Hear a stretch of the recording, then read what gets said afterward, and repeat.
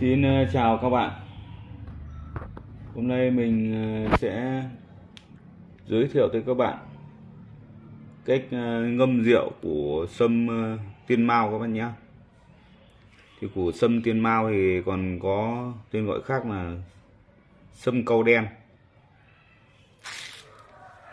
Các bạn nên nhớ là sâm câu nó có hai loại. Loại sâm câu đỏ và sâm câu đen. Sâm câu đen đây các bạn này.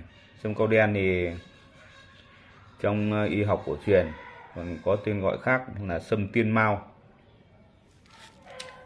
Mình cũng ờ, xin nói thật với các bạn. Dùng để bổ thận trắng dương thì phải dùng ờ, sâm câu đen này các bạn này. Chính là sâm tiên mao còn các bạn mà dùng cái loại sâm cau đỏ,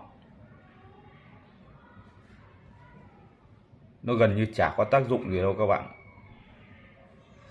Cái loại đấy ngâm rượu, uống vào chỉ có đi tiểu nhiều thôi, nó là thuộc dạng lợi tiểu. Bởi vì mình làm thuốc thì mình cũng nói thật với các bạn là như vậy. Để bổ thận, tráng dương thì phải dùng sâm tiên mao này các bạn ạ và cái loại cây ờ, sâm câu đỏ cái đấy chỉ có ngâm cho đẹp thôi. Uống chỉ có đi tiểu nhiều thôi chứ còn chả có giải quyết vấn đề gì cả.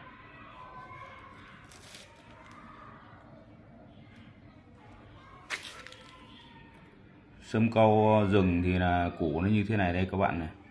Nó không được ờ, to đều đâu. Đấy, có củ thì to củ thì nhỏ. Nó không được đều đâu nhìn thì nó hơi xấu một chút nhưng mà chất lượng nó hơn là cái hàng trồng các bạn ạ. Các hàng, cái hàng trồng thì nhìn nó đều đẹp lắm. Nhưng mà chất lượng của nó thì không bằng à, hàng rừng này được.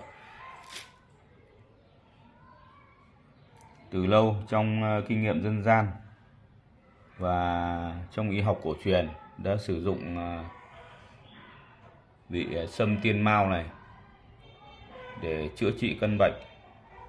Yếu sinh lý.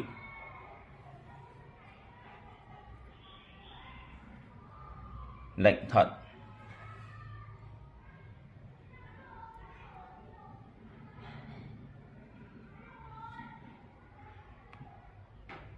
Các bạn à, nếu mà kém về vấn đề sinh lý thì bắt buộc phải à, ngâm một bình à, rượu sâm tiên mao này các bạn ạ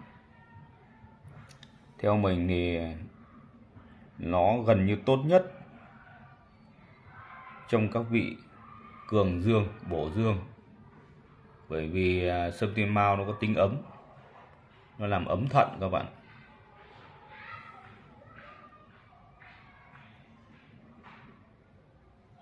Vị thuốc rất tốt cho hệ sinh lý làm.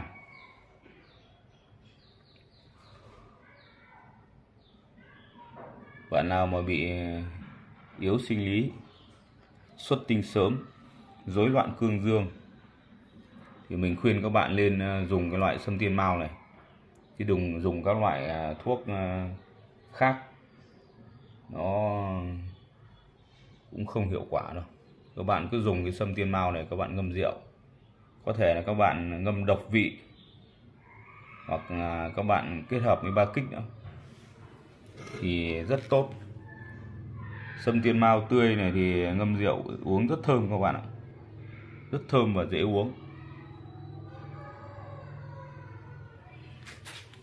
Thì sau đây mình cũng ờ, xin ờ, giới thiệu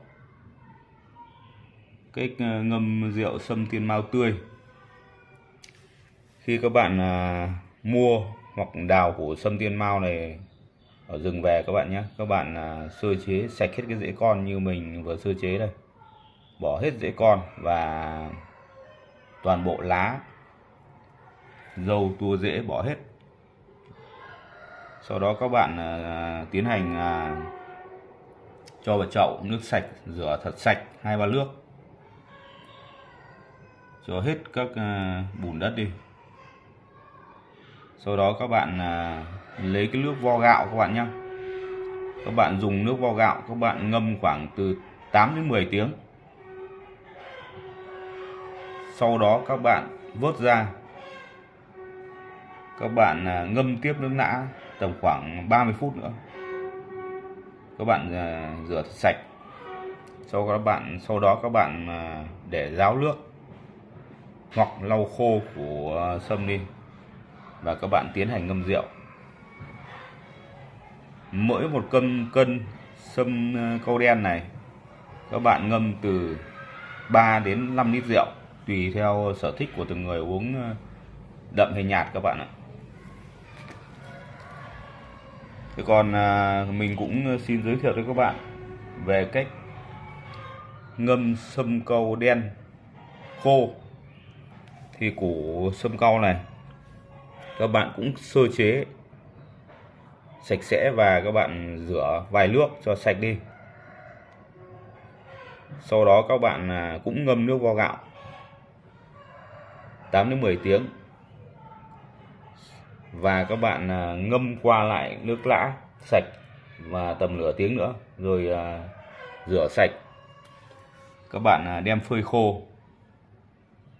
Khi nào các bạn ngâm rượu thì các bạn tiến hành sao sao vàng và hạ thổ.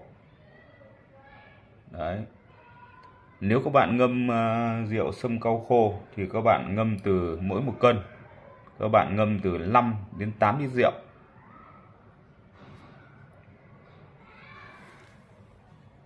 Vị thuốc sâm ờ, tiên mao này là rất tốt các bạn. Nó rất tốt cho phái mạnh. Nó làm ấm thận, cường dương, mạnh gân cốt.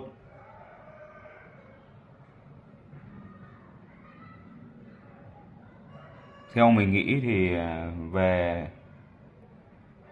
bổ dương, cường dương thì à, vị sâm tiên mao này gần như mạnh nhất các bạn ạ. Bởi vì nó có tác dụng làm ấm thận. Ôi, mình cũng à, xin chào tạm biệt các bạn. Để còn à, đi rửa và ngâm cái số lượng này để mà ngâm rượu các bạn ạ. Mình à, xin à, chào tạm biệt các bạn.